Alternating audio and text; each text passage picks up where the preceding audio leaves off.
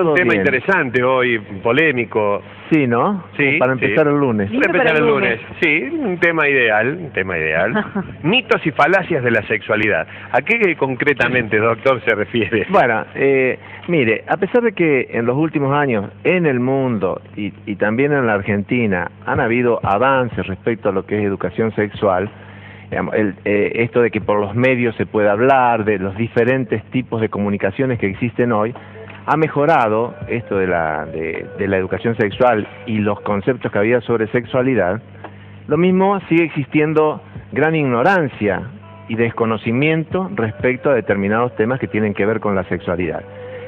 Y la sexualidad en muchos lugares se sigue tratando todavía como con una óptica victoriana, decimonónica, no con la realidad que estamos viviendo. Fíjese que los eh, psicoanalistas dicen que tres cuartos, tres cuartos de sus pacientes que consultan por problemas emotivos también tienen problemas de sexualidad. Y la mitad, el 50% de los pacientes que consultan por problemas maritales tienen problemas en la sexualidad. Y esto sin ninguna duda tiene que ver con, con una forma de haber eh, expresado la sexualidad y de haber educado sobre sexualidad que no ha sido para nada beneficiosa. Digamos, eh, eh, en, la sexualidad interviene mucho lo que son las tradiciones religiosas. Y esto también, sin ninguna duda, ha traído más problemas que beneficios. Fíjese que eh, los, los, los padres, los progenitores, que es donde, donde debe comenzar sin ninguna duda la, educación sexual, y la educación sexual no, no, no se expresa únicamente hablando o sentando a un chico explicándole cómo son las determinadas cuestiones relacionadas a la sexualidad, sino que también se educa con, con, con lo que uno ve, con el ejemplo, con cómo se procede en la casa. Y está absolutamente, hoy en nuestros días, está absolutamente comprobado que la mayoría de los progenitores retasean información fundamentalmente en cuanto a anticoncepción y enfermedades de transmisión sexual. Y sin embargo, sin embargo, dicen que es una vergüenza tener relaciones prematrimoniales o este, el embarazo ilegítimo Sí. y que también es una tremenda vergüenza social una enfermedad de transmisión sexual. Pero de estos temas No se habla. no se habla.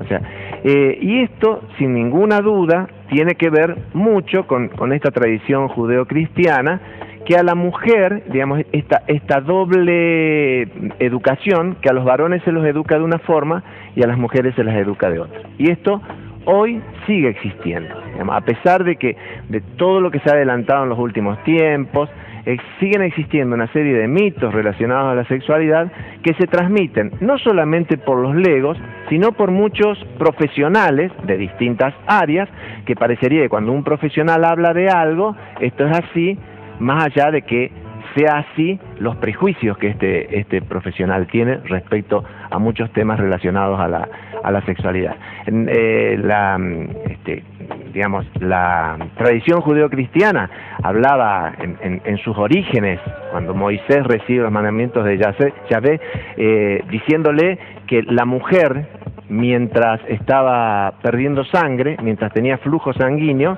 era impura, y no podía ni siquiera tocar, ni hablar, ni acercarse a los lugares sagrados. Y todo aquel que tuviera contacto con esta mujer mientras estaba menstruando o se acostase con la mujer mientras estaba menstrua- menstruando, se, se- eh, iba a ser también impuro. E inclusive, cuando tenían un hijo varón, se decía que durante siete días, los primeros siete días de un hijo varón, la primera semana, estaba impura y que durante 33 días debía hacer la expiación de esta culpa que tenía por haber tenido un hijo. Mientras, o sea, mientras perdía sangre, no podía tener ningún tipo de contacto fundamentalmente con lo religioso ni con su esposo. Y si era mujer, esto duraba, la, la, digamos, la impureza era durante dos semanas y debía mantenerse en culpa durante 66 días. Entonces, esto que se ha transmitido de generación en generación, eh, digamos, la creencia, la creencia en, en- en- las escrituras bíblicas es que el, el semen era el, el semen, por, por esto se habla mucho de, de la masturbación y se condena la masturbación y se condenan las relaciones homosexuales, más en el varón que en la mujer, porque el semen era el productor de vida. O sea, el, el semen era, eran millones de personas y la mujer era exclusivamente un receptáculo donde, donde crecían estas personas. cierto? La mujer no, no participaba nada más que recibiendo el semen. Este, este, este menosprecio por la mujer viene, viene siendo históricamente así, ¿no es cierto? Entonces, inclusive la homosexualidad femenina, en, en los inicios era considerada menos grave que la masturbación masculina o la masturbación femenina era menos grave, menos pecado que la masturbación masculina o las relaciones homosexuales masculinas porque se perdía este precioso material que era el semen. La mujer no tenía esto, entonces no era, no era tan pecado. Y esto, de distintas formas, se ha ido transmitiendo y, y mujeres, chicas, que conocen perfectamente sobre anticoncepción, sobre enfermedades de transmisión sexual, que tienen un gran contenido, un gran componente religioso. Esto también hay estudios realizados en, muchísimos países del mundo, donde no solo es la religión católica, sino la, religión protestante, la religión judía. Cuanto más eh, arraigo tienen las convicciones religiosas, menos métodos anticonceptivos se utilizan, porque parecería que el pecado es mayor si eh, está practicando algún método anticonceptivo este, que si no practica ese método anticonceptivo. Esto es una cosa inconsciente sin ninguna duda. Y en cuanto a los mitos, que siguen manteniéndose hoy en, en, nuestros, en nuestros días respecto a la sexualidad, eh, montones, de, digamos, con todos los títulos que usted le quiera dar. Por ejemplo, qué sé yo, lo, más común, eh, no se puede tener relaciones durante el embarazo, ¿no es cierto? Eh, la masturbación eh, este, que uno parece, pero, en serio, la masturbación eh, eh, saca pelos en la palma de la mano, te, te deja idiota y, y este, terminas loco. Eh, este, ¿No que todavía están vigentes esos mitos? ¿Hay gente que todavía sigue creciendo? Sí, sí, sí, o transmitir que la masturbación este, yo no decía dónde, dónde lo escuchábamos a esto, decían, ustedes fíjense, ¿por qué se quedan locos cuando se masturban? Porque fíjense el color que tiene el semen es el color del cerebro. Cada vez que se masturban es, pierden una parte del cerebro. Bueno, este, este tipo de cosas. O por ejemplo, para que una mujer tenga un hijo hay que tener una relación sexual, para que tenga gemelos dos y para que tenga trillizos tres. Y así sucesivamente. Aquellos que han tenido octillizos, este, sí, eh, o, o por ejemplo, las personas más musculosas, las personas más desarrolladas muscularmente, tienen pene más grande y son sexualmente más activos eh, digamos, una serie de una serie de cosas que no tienen no tienen nada que ver y que se siguen se siguen manteniendo, ¿no es cierto?, a lo largo del tiempo sin eh, esto solamente se soluciona con educación. Con educación. O sea, eh, nosotros estamos tratando de encaminar un proceso hacia la educación sexual y, hay una encuesta muy interesante que dice dónde empezaron a escuchar. Se hace una encuesta en, la, en, varias universidades, en un centro cooperativo de varias universidades del mundo, en países desarrollados y en países en vías de desarrollo. Y le preguntan a los universitarios, les, escriben una serie de palabras, eh, coito, clítori, eh, fornicar, etcétera, etcétera, este, y otras, 100 palabras, eh, que recuerden a qué edad, traten de recordar a qué edad, las, más o menos a qué edad las escucharon por primera vez. Y todas estas palabras las han escuchado muy chicos, muy, muy chicos, y nadie les ha explicado lo que esto quería decir. O sea, siempre se ha tratado de que la sexualidad sea un tema que no se toque. Y si no se toca en la familia, tampoco se quiere que se toque en el colegio. Entonces los educadores sexuales, ¿quiénes han sido?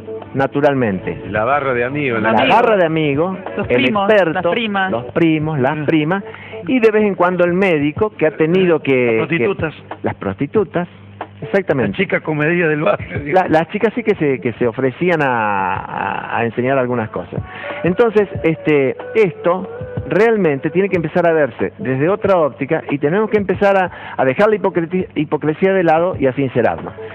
¿Cuál es el motivo por el cual los padres, los progenitores no quieren hablar de esto? Porque creen que esto es hacer promoción, si hablamos de estos temas, lo que estamos haciendo es promoción a una libre sexualidad o a una sexualidad impura.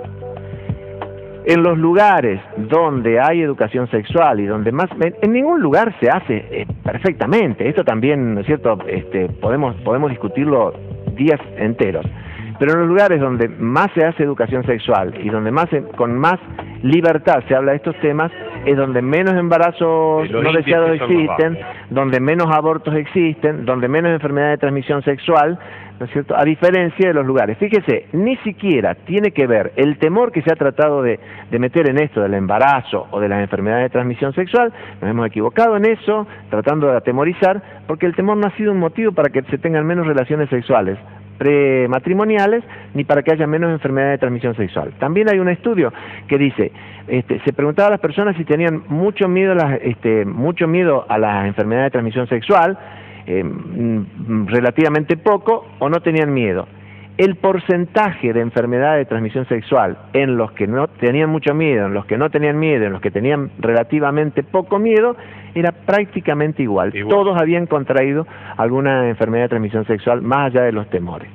Porque el, en esto, si no lo conversamos, el sexo de por sí es algo casi irracional en determinados momentos. Si no está conversado, si no está mm, suficientemente explicitado, eh, internalizado, este, estos problemas van a seguir existiendo.